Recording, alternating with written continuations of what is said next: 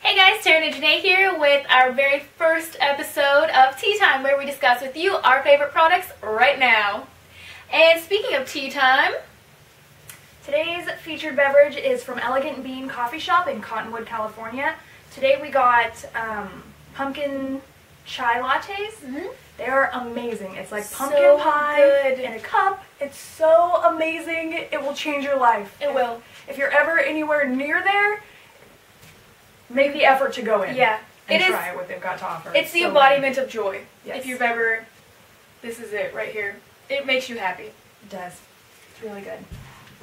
So, aside from tea, one of my favorite products right now is, I'm going to show you parts of it. Okay, so this is Sensationail. It is a at-home gel nail kit.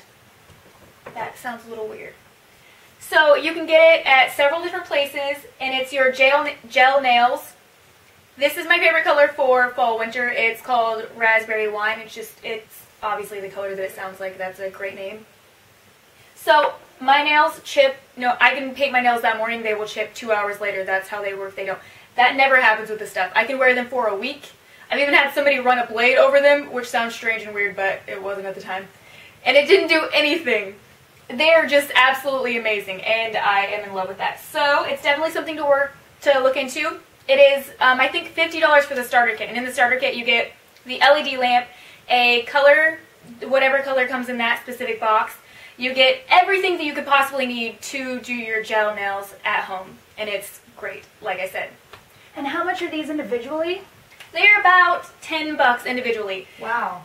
Yeah, they they're usually they're like 17, huh? They're quite a bit cheaper, yeah. And they come in smaller bottles than regular nail polish, but you don't have to change your nail polishes frequently because it stays on for so long. These actually give you, it says about two weeks. So for a normal person, I think that probably would last two weeks. My nails grow fairly quickly, so I generally keep them for just over one week. That's cool. So my favorite thing right now is Desert Essence Organics hand lotion. It's fragrance free. It's fantastic. Most organic lotions that I've tried are greasy. They don't moisturize very well. They're just subpar and they're very expensive. This actually, what got me is that it's 100% vegan, wheat and gluten free, no parabens, sodium lauryl sulfates, no sodium lauryl sulfates, no phthalates, no artificial fragrances, colors, silicones, EDTA, glycol, petroleum based ingredients. It's cruelty free, biodegradable, no animal testing, um, no raw materials um, like petroleums and crude oil materials, um, and no phosphates. So it doesn't sound like something that would be in your lotion, but a lot of those things are made to help plastics be pliable, to make asphalt. There are just a lot of really harmful chemicals that you really don't want to be absorbed in your skin, and none of those are in here. You can, you know, layer whatever fragrance you want over it. There's no like weird, like what is The that smell? smell. Yeah, that weird. not Even good. though it's a fragrance free, like sometimes those will have like that strange smell to them.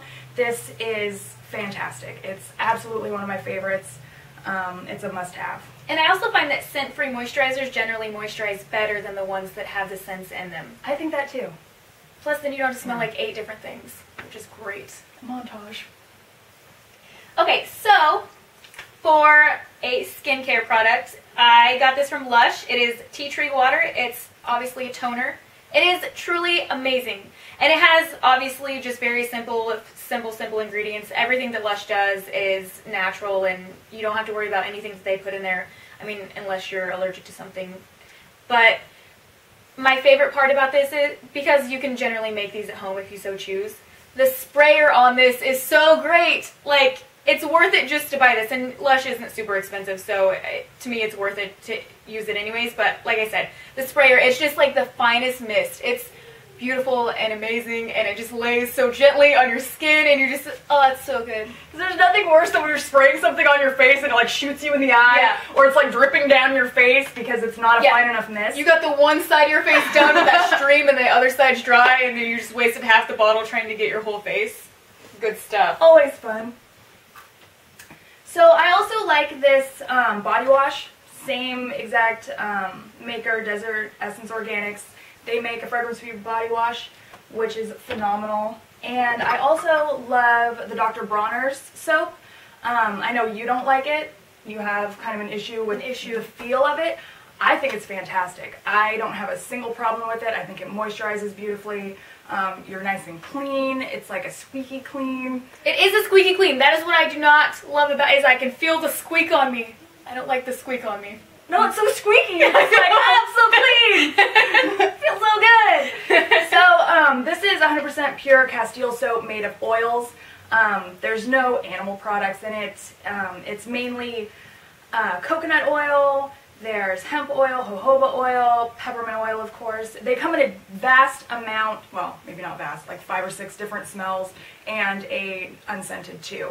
Um, I just think they smell really clean and nice. Again, organic, can't go wrong. It's really great stuff. It, for the record, I wanted to love these. I've tried several different ones. It's not like I didn't try to like like she said, they're very natural, very great. It's they're awesome. The smells are amazing. I love the smells.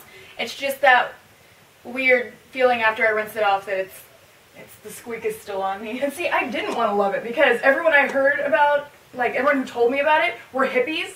And you know, they have that hippie Oh, smell. yeah. I didn't want to smell like a hippie when I was like getting out of the shower. I don't It's like not patchouli flavored. Well, no, and like I was afraid it wasn't gonna get me clean. But I was I was very skeptical and I love it. I'm glad. I'm sorry you don't. I'm sorry I don't too, I truly am. Okay, so another product from Lush because I absolutely love Lush. Um, again, all natural ingredients with all of these. This is the Lip Service Lip Balm. And I had been looking for so long to find something that I can wear on my lips at nighttime that's moisturizing, that doesn't get all over your pillowcase or anything like that because I hate the stickiness that... It's fine to have glossy lips during the daytime. You don't need them at night. You just want something moisturizing that's going to do great things for your lips. Okay, this is it. Also, I had been mentioning this, and somebody told me to use it as a primer. It is the greatest lip primer I've ever used. It's, oh, it's insane. I just, I can't say enough good things about this product.